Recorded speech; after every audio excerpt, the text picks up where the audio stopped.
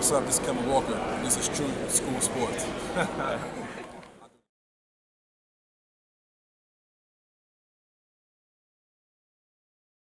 Carlos says he hopes the crowd will be behind him, the Mexican fans. Do you expect to have many fans on your side, though? ¿Pensás eh, que vas a tener fanáticos de tu lado también? Porque sabemos que muchos de los mexicanos van a estar por, del lado de él. Totalmente. Yo sé que gente nicaragüense que me están apoyando, que son de aquí y que vienen de mi país. Yes, definitely. He knows that he will have his fan base also there. A lot of people from Nicaragua are coming, so yeah, he'll feel he'll feel with a lot of people. he says. Gary? Um, in terms of his training, how's that gone? And has he been working on anything specifically for uh, for Carlos?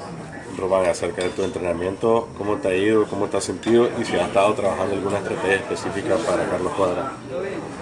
Pues realmente todo lo que tenía que hacer ya lo hice en el campamento con mi equipo de trabajo.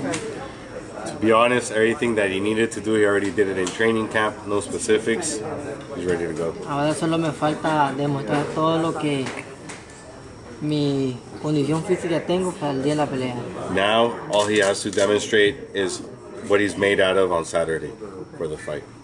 Can you speak a little bit about the Alexis Arguello impact in the fourth belt?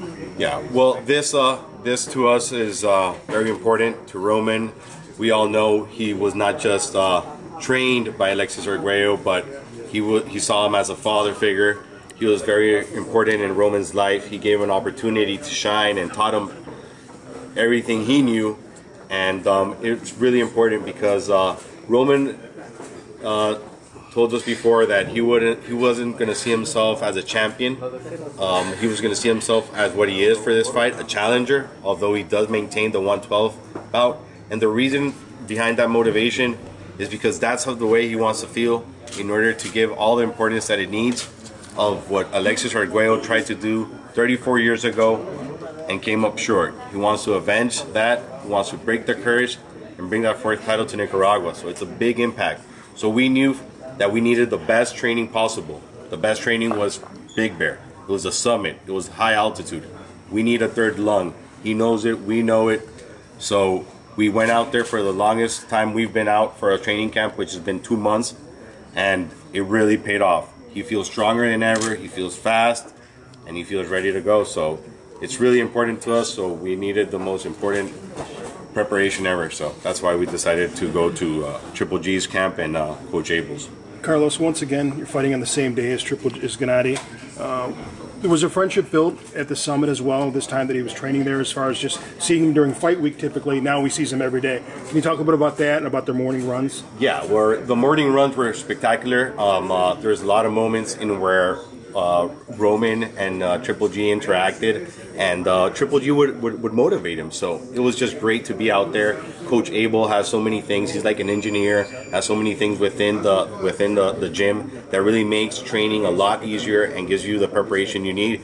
So uh, in the afternoons, they would stretch together also right before Roman would start training, and uh, after uh, Triple G would, would stop. So you know they were able to really build build on the relationship before you know it was i think a little bit just superficial and now i think they're a lot more in depth and they learn from each other and you know just training with the number one pound per pound which is how we consider triple g then definitely that, that means a lot Okay, I think we'll go inside and take some pictures. I know we're going to do an interview. Voy a solo explicar para nosotros el impacto que tuvo la pelea de, de, de Alexis Argüello en la vida de Román. Como Alexis, como un héroe, como un mentor para Román, significó mucho.